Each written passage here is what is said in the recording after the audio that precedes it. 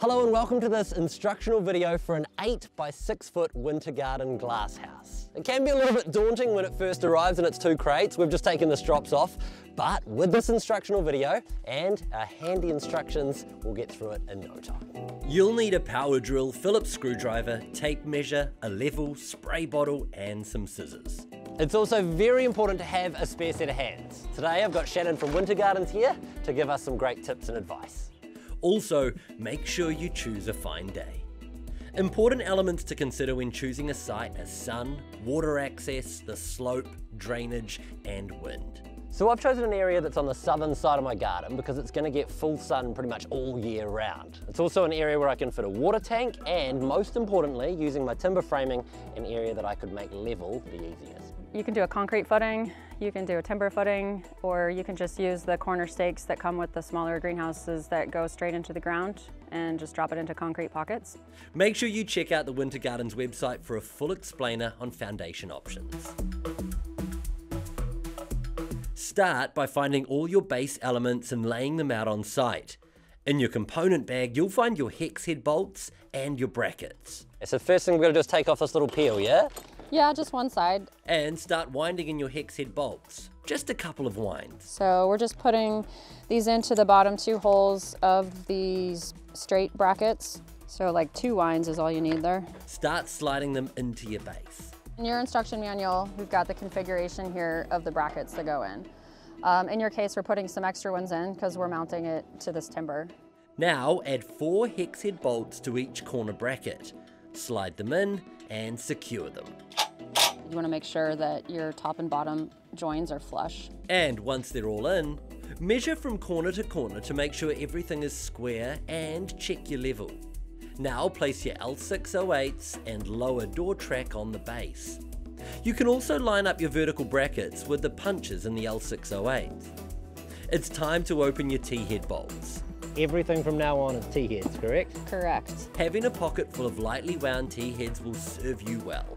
These are our braces. Yep. Two of these on every corner. Yep. Slide your first T-head into a bracing bar and groove. And tighten with your impact driver. Lift in your corner post. Check your length to make sure it's a sidewall piece. You don't want to be putting the roof ones in. Line up the grooves, place a T-head bolt in, and then slide over the W05A bracket. So now you can see it's got a slot there, which is gonna fit your T-head bolt. As you can see, this is a pretty tight spot to drill. This is the tightest spot, I think, in the whole greenhouse. Once it's tight, secure the two lower T-heads as well. As you can see, there's a dimple at the end of these T-heads. Because once the T-head goes into the channel, you can't see the T-head, but you can see the dimple, and you wanna make sure the dimple is perpendicular to the channel so that you know it's locked properly in place. Now get your L606 beading strips and place them around your base. So we're gonna hook this all the way around, except for not in the two slots where the door is gonna be. This is what your glass will slide into. First bit of glass, exciting. Place it in and adjust the vertical corner post so it's level. Then we're gonna get it so the glass is square in there. Wow, okay. It's going to level it up for us. Secure the brace and insert your first sidewall panel. Then a sidewall upright. Now it's time for a louver. This is the sidewall louver box. Um, we've got two pieces of blade louver rubber that goes in the top and bottom. A bit of CRC will help. Arrange your sides, pre-wind your brackets with T-heads, and place your louver frame pieces into position. I'm just trimming this rubber a little bit because uh, I want to make sure it clears these louver blade mechanisms. And tighten. Important to have louvers in a glass house? Yeah, it does help with airflow. We usually recommend a two to one ratio of roof vents to sidewall louvers. Back at the glass house, we're repeating that front corner. It's braces, corner post, I think that's the hardest screw to get in in the whole greenhouse. and glass panel. They'll fit perfectly between those beading strips. Now it's time for the inner gutter. And you can see it's got one side a little bit longer. Make sure this is the one that's going down, otherwise you could have some problems later.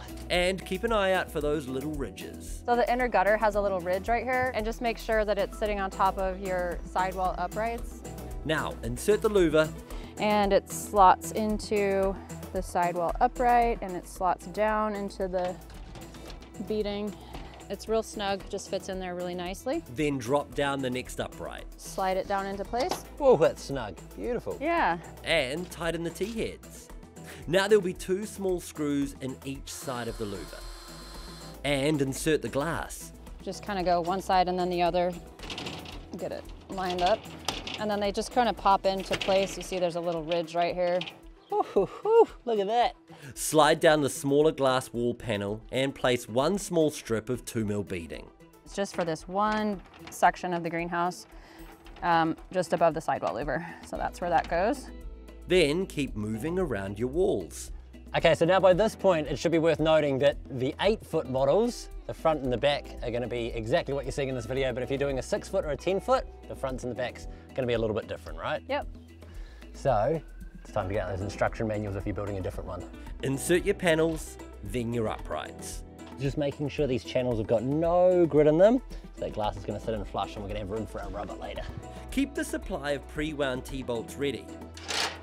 And always check they're secure. I screwed in the T-head bolts, but as you can see, it didn't catch the extrusion behind it, so that's no good. Loosen it and try again. Once you've completed the back wall, add your bracing.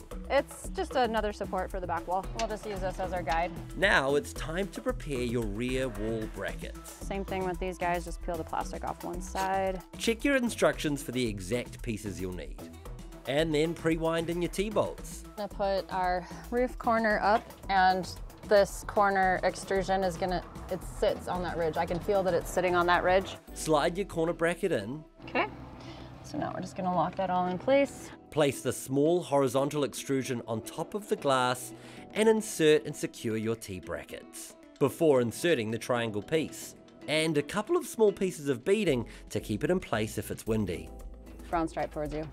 Put your other roof corner on and find your L507X locator tool. And we're just gonna locate, make sure that the two corner pieces for the roof are in the right position to accept the roof. Tighten your final brackets. And now we have this solidly in place, so we're just gonna take that out. Fits nice and snug, so we know our roof ridge is gonna fit. Then continue assembling your next wall. Again, insert your glass panel, then your uprights. Just make sure it's flush against the, against the bottom here. And assemble the final corner with bracing before placing the inner gutter in. The roof corner needs to meet up with the ridge of the inner gutter, which it's doing there. And the sidewall corner needs to meet up with the inner gutter ridge as well. Tighten your T-bolts, So if you're doing it with a mate, it's good to have them always checking those ridges. If you're doing it by yourself, you want to come around and make sure. Back and forwards, Yeah, yeah, so awesome. it's much easier to do it with another person. Now we're on the front wall. Place in that last vertical front panel and uprights. Now's a great time to check all your T-head bolts are secure. Bolt your two roof corners on, and using your locator tool, test that spacing before bolting it in place. Okay, so we're gonna put this one up in here. Now we've got some handy little bits of rubber again just to keep it in place. It's gonna make us a little bit more secure as we manage this two-person job. So all our walls are now up, except for these two, but of course, there's gonna be a door here. The one big difference you have on this wall is you're gonna look for this bar with the two holes in it. That's gonna go right here. Bolt the door bar into place, This is where it's super important to have two people on it, one person for holding.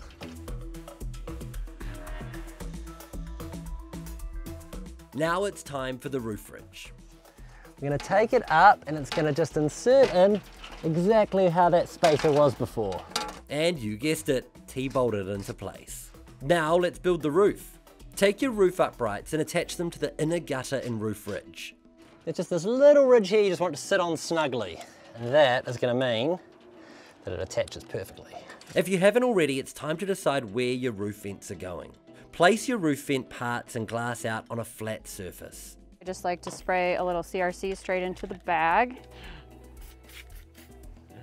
Okay, and then that just lubricates all of your little screws there. Good tip. We're working as if we're outside the greenhouse, like this is the, the outside part of it. And you wanna make sure that the little C shape at the top of it extrusion is down. And then also on this end, so this is your bottom part of your extrusion, you've got these two holes where you're gonna, you can either put your manual vent latch or where your auto vent would go. That is also facing down, away from you. Line the screw up with the receiving hole and tighten them using a screwdriver. Now you'll need the smaller rubber beading strips. One is two mil and that goes on the vent top and bottom. And the other is four mil and that goes on the sides. Top tip, hot soapy water on the rubber. Make sure the stripe's facing you, not the greenhouse.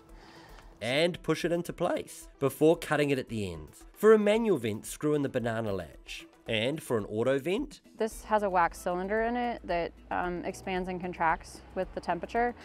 Using a 4.5mm drill bit make the hole slightly bigger. and tighten in the screws. When placing the vent into the roof ridge, lift it at a high angle and place the small circular end into the roof track. Beautiful. Look at that. It's time to insert your roof panels. So make sure someone's holding this until this gutter is in. We don't want this slipping out and coming down on you. Insert the outer gutter and move it below each panel after it's been inserted. Health and safety. Don't want to hit our heads. For your vent windows, insert your smaller panels and then attach the lower vent bar and brackets. Attach the bottom of your vent. Insert the wax cylinder and screw it in before placing in your final glass panel. Make sure your outer gutter is flush. A little more. a little more. Lay your door elements out on a flat surface. As you can see, there's like a bigger part and then a smaller part. This is where the wheels go. This is where the glass goes. Insert your door caster wheels into the bottom of the frame. And there's this access hole. And that is so that you can get in a screwdriver in here without taking apart the door. And you can adjust the wheel up and down. Push the frame into place. You got this U-shaped metal piece here. And this actually fits snugly, kind of hugs that extrusion there. Then it's as simple as screwing in the four corners with glass inside and inserting the rubber beading. Again, a hot soapy spray will make things much easier, as will a Winter garden beading tool. Oh my God, this makes it so much easier. Then repeat all of the above on the second door.